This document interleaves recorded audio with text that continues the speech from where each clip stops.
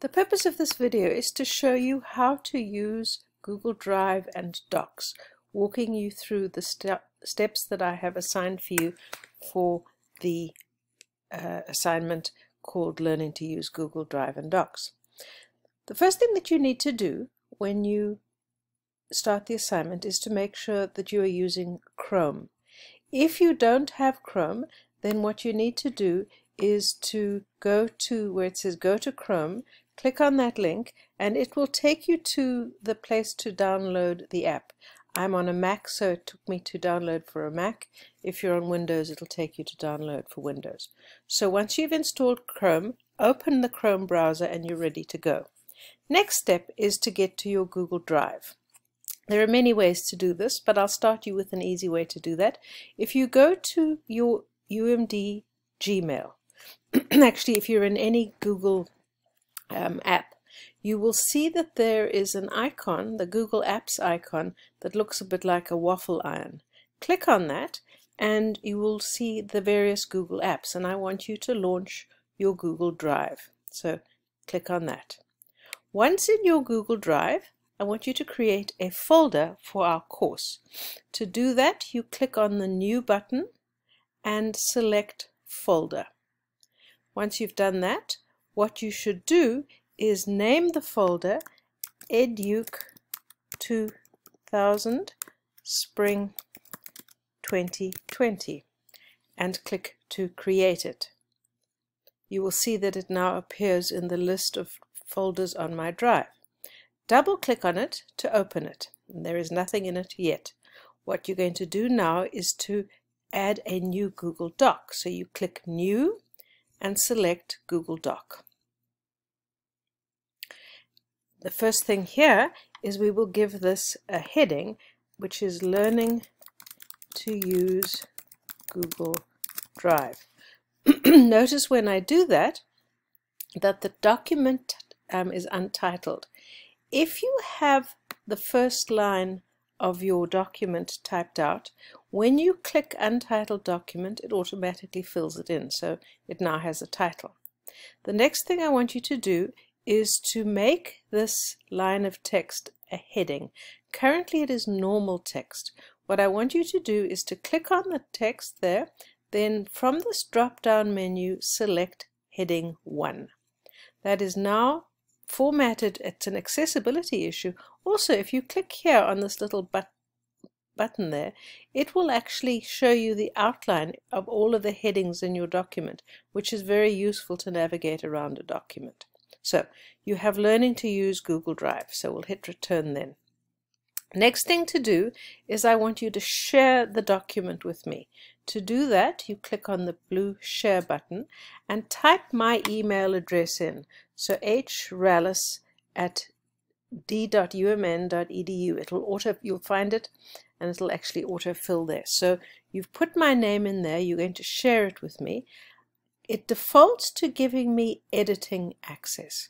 I want you to give me commenting access.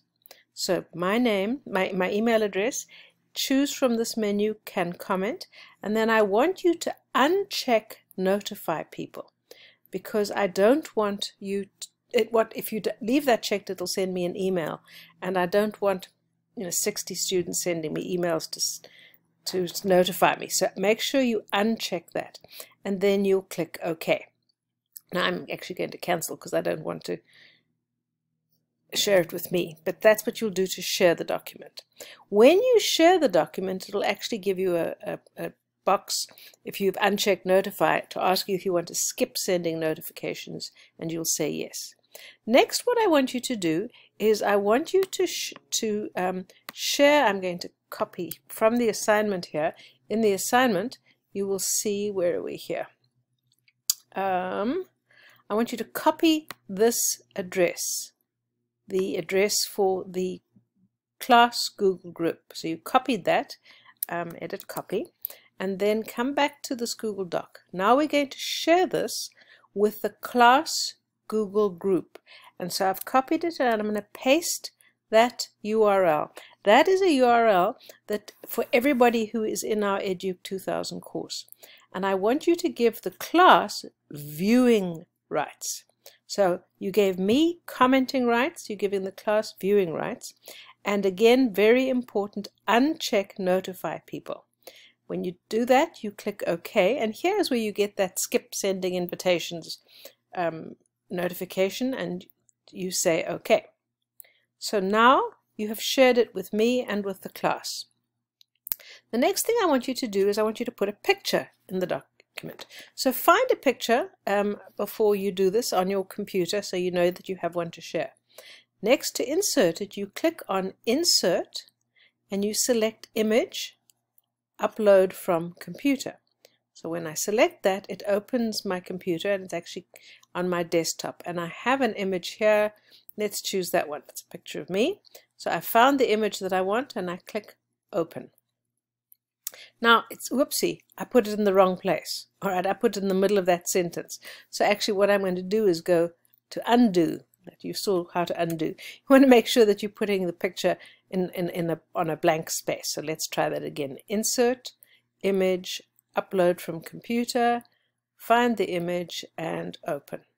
All right, now it's very big and I don't need it to be that big. So I'm going to click on the image and use one of the corners to resize it so that now I have the heading and I have an image underneath.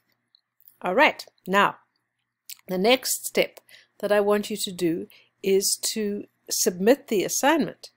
And so what we're going to do is we need the link of the assignment. So I'm going you don't want to copy it from there. Click here, share, and do not click get shareable link because if you do that, it makes that, by clicking on that, it actually makes the document available to anyone with a link, and you don't want to do that. So what you want to do is you want to click on Advanced, and there is the link that you want to share. I triple click on it to highlight the whole thing, and then I use the Edit Copy, or uh, Command C, so I've copied it, um, the, the link. I can also check here that it's shared with me Actually, I'm the owner of this document and it's shared with the class um, alias. And we're going to click Done. So now I have that on the clipboard, the URL. You come to the assignment and what you want to do, at the top of the assignment, you'll see there's a button for submitting the assignment. Click on the Submit assi button, assignment button, and you will see that um, it's asking for a website URL. And so you have already copied the link. So what we're going to do is we're going to paste it into there. So that's the, that is the link of the Google Doc. And I've pasted into this box and you click Submit Assignment. And you're done. That's it. I can see that it's submitted because it's assignment successfully submitted. Um, in the future, if you want to, um, I'll also show you, it also shows you here, submitted. In the future, if you have to resubmit an assignment for any reason, you would click on the Resubmit Assignment button. That's it.